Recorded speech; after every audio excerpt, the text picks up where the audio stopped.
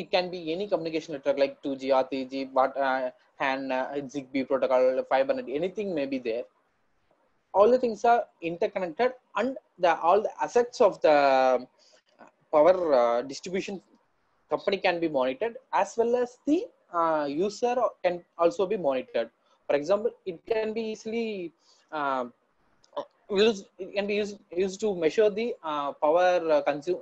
What is the power consumed by the user? Like uh, smart meter, they can implement the smart meters in the consumer's home or in a company, whatever may be the thing, and they can easily monitor the real power or reactive power and where they are violating the rules uh, by not maintaining the zero not maintaining the point power factor like that we can uh, all the things can be monitored from a single place using the SCADA monitor system uh, for a larger network it's an uh, outcome of uh, cyber physical energy system uh, power systems.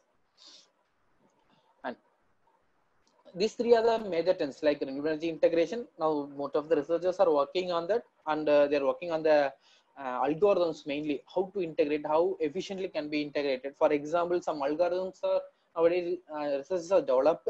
For example even a, single uh, one watt if it is uh, produced they can upload the they can integrate with the uh, grid like that they are producing cyber physical systems they are uh, mostly evolving based on the cyber security thing how the cyber threats in the power systems can be uh, monitored and how it can be save the power systems from the uh, hackers or uh, uh, thefters.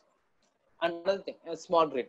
Now, uh, actually, more pilot projects are going on in the small grids, and even uh, you can take uh, Netherlands. There are community-based small grid and microgrids are there.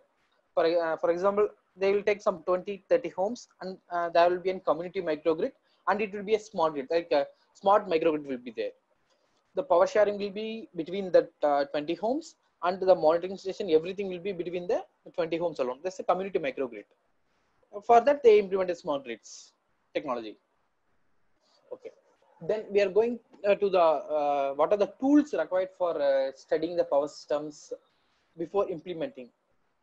Matlab in this uh, we can do uh, simulation and programming. Both the things will be there. Similar in the programming we can uh, write the coding based on uh, related to uh, c or c++ and we can uh, execute the uh, power flow or uh, uh, short circuit studies like that we can execute and we can take the results. And same as that the simulink is there. The simulink we can simulate the uh, power systems like generating station that is some induction machine will be there then the transformer will be there then the distribution line then uh, step down transformer then the load. We can easily simulate the real scenario of the uh, existing power systems same as that PSCAD in the PSCAD there will be only option of uh, uh, simulation only. There will be uh, there is no option for coding. By coming to the etap etap is used for uh, load flow studies. We can easily generate the load flow studies. For example if uh, chennai city is there uh, there will be an uh, n number of uh, distribution station uh, distribution transformers will be there. There will be more divisions north, north zone south zone east west zone will be there all the zones we can take the well uh, data real time data from that zones and we can estimate the power demand and power flow studies using etap same as that DIgSILENT also. LabVIEW it is a graphical programming. In the graphical program we can emulate the uh, um, some events. For example if there is any power any uh, visualization of any uh, mm, uh, problems we need to realize uh, we need to see. For example if any uh, sag is happening in the system we don't know how it is happened. We can emulate that by our own. And we can uh, realize that oh, the, uh, by because of this reason only the event has been recorded as sag like that we can emulate in the lab view. And while coming to the electrical CAD it is not a simulation software it is a drawing thing. We can draw the power, whole power systems and uh, we can uh, use it for the uh, commissioning time coming to the hardware for power systems. Main uh, player in the hardware is abb uh, they're producing uh, uh, protection system, protection systems uh, then uh, drive systems and more um, literally they are uh, uh, ABB and G, G are the major power players in the hardware for power systems for uh, real-time implementation, as well as Siemens, Kirloskar, Rockwell Automation. They are uh, mostly Kirloskar and Rockwell Automation mostly focus on the drive systems, and Larsen Toubro. Uh, they are mostly in the transmission line uh, implementation systems. And um, and now we are going to see about the outline of the power systems like uh, previously we see about the basic components how the power system is working like how the generation transmission and distribution is happening and what are the tools we can use it for realizing the power systems and uh, what are the hardware components and who will supply the hardware components? And how it will be implemented. Like that we can uh, see in the previous thing. Now we are going to see about the outline of the power systems the total uh, syllabus. Like uh, uh, starting from electric power generation, what are the generation methods, how it can be obtained, then the transmission line set cables, like how the transmission lines can be designed, the cable design, selection of cables, selection of uh, transmission lines, the distribution systems. While coming to distribution systems, uh, like uh, if we get taken the load flow studies of the distribution system and how it can be implemented, like then insulated design for example, how, uh, if 100 kilovolt is kilovolt is transmitting, what will be the insulators? What type of insulators can be used, whether glass or ceramic, and what will be the um, capacity of the insulator uh, uh insulator? Then load flow studies. The load flow studies uh, mainly uh, Gauss Seidel, Newton-Raphson method. It's frequently used for analyzing the load flows of a power system. Then voltage and power factor correction uh, for example, if there is been some inductive loads or machines will be there, there will be a power, power factor problem will be there in the uh, system. How it can be uh, compensated? Like we can use an active power compensation or passive compensation, or we can use some batteries with passive compensation for uh, maintaining the power factor. If the power factor is disturbed, the efficiency of the system will come down, and um, the like the problem will be based on the economic operations. If the power factor problem is occurred, the problem will straightly come to the economic operation. Because if the power system is designed for uh, uh, one system level voltage and this will be the cost of that and the consumer will get this amount, that will be affected if the power factor is not maintained properly. Then while coming to the symmetrical components and faults. For example, uh, if it is a three-phase line, there will be a um, faults like phase-to-phase fault or um, phase to ground or three phase fault. Uh, if it is a single phase, there will be a phase to ground fault will be there. In order to find the uh, fault, how the fault is occurred, how it can be recovered, what will be the short circuit uh, current in that time, and whether the system is able to withstand for the short circuit uh, current while the fault is occurred. Everything will be calculated using this uh, symmetrical components and fault, fault, uh, sections. Then protection. If the fault is occurred, it needs to be uh, uh what uh, the uh, system needs to be protected from the fault. For example, if uh, any short circuit is happened, immediately within some uh, microseconds, the system needs to be isolated from the affected area. just like we can use relays, um, basically, what, what um, there are numeric relay or distance protection relay are there based on the uh, uh, need, uh, the relays can be placed for distance protection or uh, short circuit protection, which um, uh, based on the load flow studies, we can uh, place all these protection components. Then stability of the system. For example, if we implemented one system, we need to know how the stability of the system is. So the stability studies can be done with the system stability topics. Then HVDC. Already I said the DC transmission it comes under the HVDC topics. Uh, for example, uh, what are the what type of converters we can use? Whether uh, converter or LLC converter. What are the problems in VSC that is voltage converter? What are the problems in LLC converter? Uh, whether it is a uh, single line uh, transmission or double line transmission, we can classify it how uh, based on the voltage level and the needs of the consumer. Then the last three topics is uh, totally interlinked topics. Uh, it's not a pure power system topic. For example, power electronics application to power systems.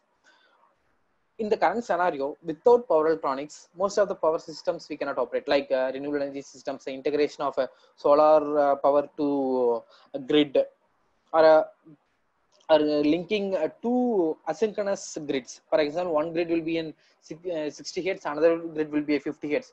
We can easily interconnect that through electron devices, like uh, using the back-to-back converters. The front end uh, will be an active rectifier, and back end will be an uh, active inverter. The front end will have then uh, this uh, AC supply and it will convert into the DC common point. Then we can uh, uh, change into the required frequency.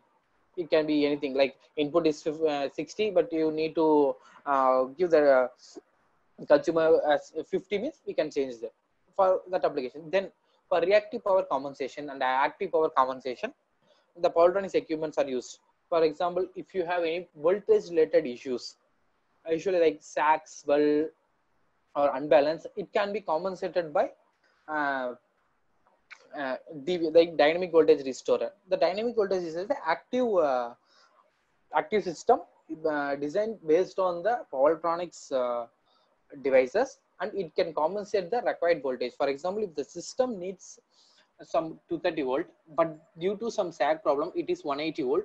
The remaining voltage will be compensated by the active uh, active filters that is a dvr if the problem is with the current it can be uh, compensated by the dstatcom that is a static compensator uh, then um, if there is uh, problem in both uh, voltage and current it can be compensated by unified power quality conditioner and FACTS devices more number of uh, applications now coming down based on the uh, this topic like power electronics application to power systems then renewable energy systems like integration of solar, wind, biomass. Now tidal is evolving. Uh, that can uh, how it can be integrated. What are the devices required for integration of uh, renewable systems to the existing grid, or whether we can use it as a separate microgrids. Like the topics, it will come under the renewable energy systems. The smart grid. The smart grid is uh, like uh, what the, how smartly we can control and monitor the grid using uh, cyber physical systems or no, normal IoT based systems. Uh, based based on the requirements, we can uh, do the small grid problems. These are the overall topics come under the uh, uh, outline of power system, starting from generation to uh, the current trend of uh, smart grid. And what are the jobs? If I know power system, how can I? What are the jobs in entry level I can get? You can get a power system designer, electrical design engineer, or system studies engineer. What the work I will do in those jobs? You can do the power system simulation, system diagrams, that is one-line diagram, system calculation, preliminary studies, and short circuit studies. These are the works we can uh, the person can do in the entry level of uh, power system jobs. Then we go to the senior level of then in the senior level of jobs, it's like a power system electrical studies, uh, senior engineer, then project lead engineer, uh, process uh, process power manager, specialist in power systems. These are some senior level jobs which are uh, currently existing. In that, what they will do, they will lead the projects. They uh, they review the designs done by the juniors, that is the entry level uh, persons, and they will check the feasibility of the studies and the commissioning of the project and system compliance study whether the uh, design is um, will fulfill the requirements of the consumer uh, and if uh, what all the problems occurred like that the study the extensive studies will be carried by the senior level uh, persons then we go to the management level management level jobs. In that the power system manager will be the power system uh, manager power system and distribution. They will they usually do the do the project manager management and power system management. Like if the power flow studies or short circuit studies or the designs compliance study whatever may be done by the junior levels it can be reviewed and implemented and uh, the process flow is checked by the uh, top level managers and what's the requirement for the domain entry? Basically uh, they need a uh, bachelor degree in electrical engineering. Then it can be masters in power systems or masters in high voltage engineering. Uh, if the candidate is with uh, bachelor in electrical engineering they can go specific with the power systems course or masters in power systems to get enter into the field. More on the degree uh, they need a uh, ground level knowledge on the Uh, trends